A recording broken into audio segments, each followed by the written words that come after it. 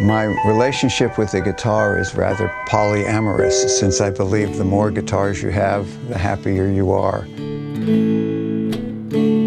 Music is a very mysterious language. It's kind of beyond words. I believe that's why it was invented in the first place, to, to express emotions that you can't say within a sentence or three.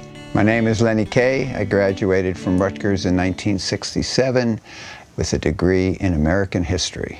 I've had many careers, mostly in the music business. Uh, I've been a, a musician, a guitarist, I've been a record producer, but most of all, I've been a fan. The amazing thing about music is that it takes place in the present. I try not to think of really where I've been. I try to think of the piece of music or the piece of writing in front of me at that moment.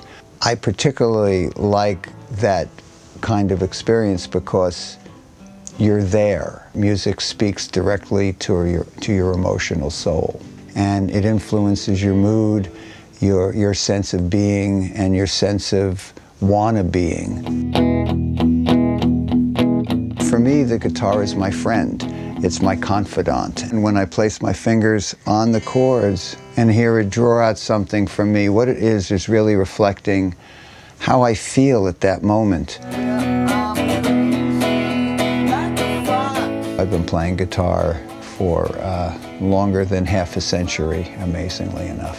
When people refer to me a legend, I have to laugh because I just think of myself as a worker. The fact that I get to strum a chord and touch somebody's heart is a great blessing, and I'm always, always appreciative of it.